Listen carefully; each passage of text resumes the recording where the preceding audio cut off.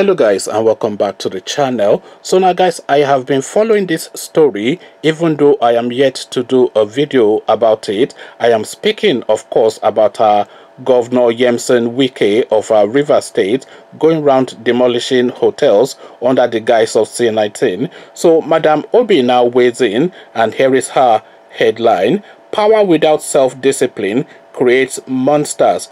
Ezekwesili attacks wike over hotel demolition. So I am aligned already with Madam Obi on this because of course this uh, Governor Wike guy is part-time talk, part-time uh, governor sort of like uh, I don't I, I mean I use the word agbero a lot in uh, in my videos and really a lot of the people in positions of influence and power in Nigeria do have that agbero mentality. So I wouldn't really apologize for using that term. It's the most apt term to describe a Nigerian person of influence. So the headline again power without self-discipline creates monsters is Ezekwesili attacks Wike over hotel demolition. So now let's now see what Madam Obi has to say.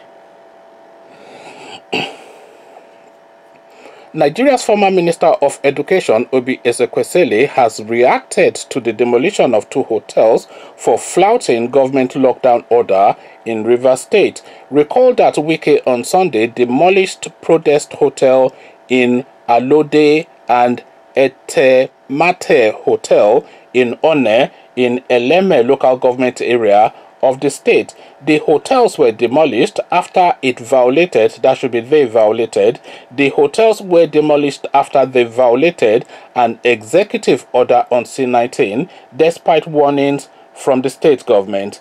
Reacting, Ezekwesili, whilst condemning the action, said power in the hands of people without self-discipline creates monsters. While calling on the owners of the hotels to sue the state government, she added that Wike's action breeds anarchy in society. Power in the hands of persons without self-discipline in the absence of social accountability creates monsters in any society. I have seen enough flagrant abuse of power amongst our political class to know that both they and the citizens are still enamored of the unaccountable governance style of the inglorious military era. Such arrogance of power against the citizens because of delegated temporary titles, democratic ethos, values, principles, and nuances totally forbids the kind of action Governor Wike of uh, River State took in demolishing a hotel,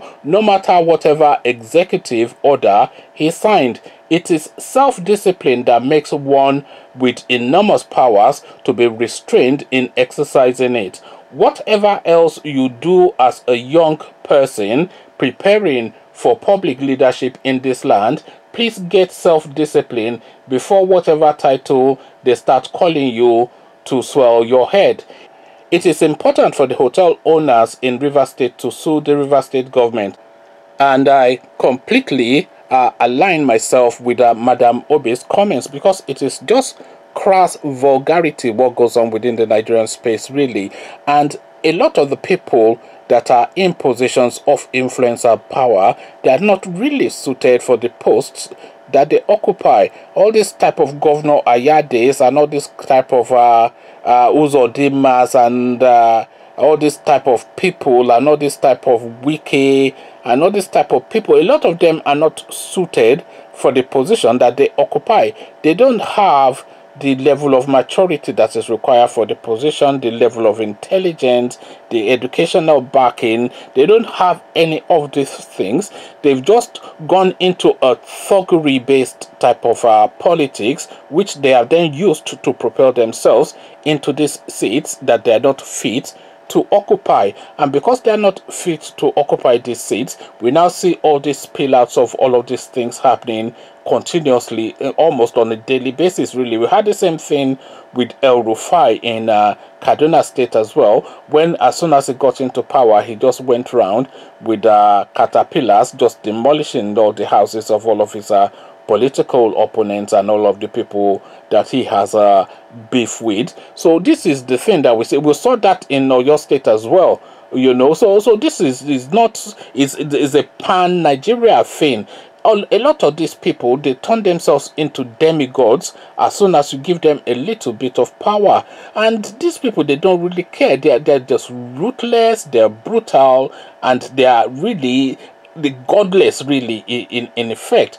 And this is really what madam obi is saying that look eh, you give these people a little bit of power and immediately the monsters in them come to the surface. Conversations in the comment section madam obi has spoken now what says you? Come share thoughts. But before you do that click on the red subscribe button so it turns gray bell button notifies you every time i uh, drop a new video then come tell me what your take is on all these power drunk demigods that are parading around the Nigerian space as governors of states.